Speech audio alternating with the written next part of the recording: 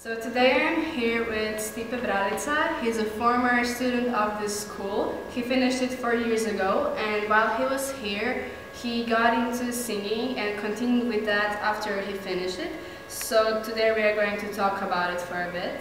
So Stipe, can you tell me what drew in the, to the music industry and how did it all start? Uh, actually, it all started when I was uh, first year elementary school.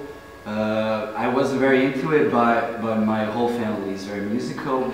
So uh, so my mother, she I wouldn't say she forced me, but she she guided me to to start a musical school. And I, I started with the piano, and after that I, I started playing a little guitar also as well. And I, I, I did sing, I did sing as well, but uh, but it, it wasn't professional until the the, the band we started actually. So that's that's how it all started, and it continues to this day. Yeah. So you have a you have a band, Spiritual Corner. Can you tell me something more about the band? Okay, so Spil- Spiritual Corner, or in Croatian Duhovni Kutak. Yeah. You can check us out on YouTube. Uh, Sure. actually, it all started in, in, in this very school, in, uh, in, in, in, our, in my high school. Uh, and the band was very, it was all very unplanned. Uh, we all, all kind of, we all kind of uh, just, just, we all just started being friends and uh, we were just kidding around with music and stuff. And uh, Professor Anush, uh, he's professor and also in this high school, he kind of put us together. Uh, he has also very, he's very poetic, so he can, he writes music and then we, then we convert it into notes and, and, and, and, uh, and, and songs as well. And uh, that's how it all actually started. He put us together, me, my sister, uh, actually, uh, actually all except one girl. Uh, uh, we studied at this high school, so it's very cool. Do you write songs or like? Uh, no, no, I just write music. He, he writes the lyrics and I and then I put it in a song, so so to speak. Yeah. Okay. And has something uh, inspired you, uh, like really inspired you to start a band? Was it an idea or did it kind of just be, become? No, it was just like everything was very natural. We we started playing here at high school uh, through some I don't know through some uh, shows that we held during the I don't know Christmas or Mhm. Valentine's Day as Yeah. as you all have right now as well. And uh, we started uh, recording music in, in studio. And uh, uh, Professor Anush thought it would be a cool idea to put it on YouTube, and people really liked that, and so we continue doing that as well. Yeah. And what is your favorite part about this whole line of work you do? Uh, it's very, uh, it's very, I don't know how, to, it's very fulfilling because uh, I, I don't consider myself that I'll be, that I will be so much in music industry. I consider myself as an economist, which I'm, which I'm faculty of, student, as a student. Uh, but this is a big part of my life, and uh, I'm very grateful that I that I can express myself uh, doing this with my band and, and writing music and writing lyrics, and, and it's very fulfilling, as I said. Yeah. Okay. And do you have any least favorites about it?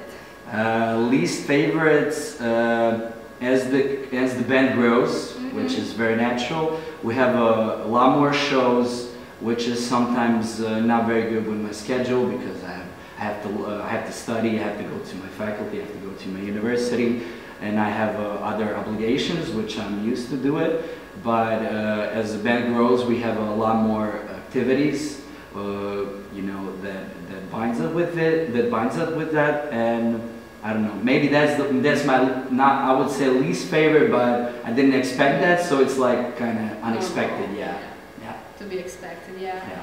Um, do you have a favorite song out of those you you all put together? Uh, actually, I have, but it's not none of mine. Mhm. It's a friend of mine's, and uh, I don't know what's what's the name of it, and I w- I wouldn't sing it right now. So, my, but yes, I have, and it's not it's not mine. It's it's it's a friend of Oh, mine's. okay, so different. Yeah, Yeah. Um, you said you perform. Uh, how often is that? Uh, we usually perform once a week. Where?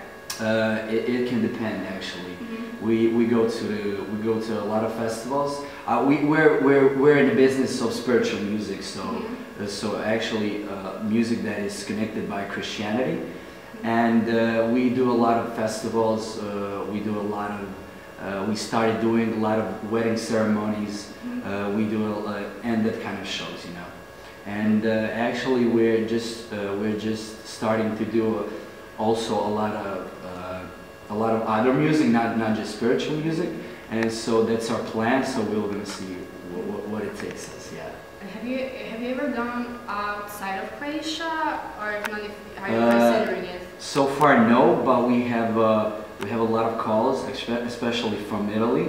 Oh, Yeah, yeah. They wanna they wanna bring us to the to the Vatican, to the Vatican, Yeah. and they want us to do it, perform there, and so that's a plan. We'll see if, if we're gonna if we're gonna do it or not, but that's a plan. Yeah. Okay. I hope it comes true. Uh, the idea Thank you, comes, yeah. yeah. Uh, have you ever dealt with performance anxiety? And if so, how, how do you deal with it? Uh, in the beginning, maybe yes, but I would say it was a more positive anxiety, if you can say so, because uh, I'm a I'm a very extroverted person. Mhm. So I'm not I'm not afraid of, of performance or that or that kind of stuff because I'm actually very used to it. So it was kind of natural for, for me to do it. So I wouldn't say I wouldn't say now at all, but maybe in the beginning a little bit. Oh, well, that's normal. Yeah. Uh, do you have something you would add, uh, want to advise to someone who is interested in following your footsteps? Uh, of course, yeah. If if you can if you think you can do it, just do it. And uh, but you have to you have to be you have to be good. Otherwise, people won't you you know Yeah. won't listen to your music. So and that's what it's all about. And uh, but you can still do it. You never know. Maybe you have one hit, two hit. You never know. Yeah, it's all about Yeah. putting the. I wouldn't say our, every our song is a hit, but yeah. So you know. Yeah. And to sum this up, uh, what do you want in general for people to take away from your music? Uh, whatever they want. Uh, as I said, it's a spiritual music, and uh, we do it at a, at a, church, especially. And uh, and whatever whatever you're dealing with, whatever every every of those songs can can touch you in a spiritual way, and uh, and you can take of it whatever you want, whatever you're feeling sad about or anxious about, or I don't know, whatever about. Yeah, and that's it. Okay, and that's it for uh, this little interview. Thank you for your time and.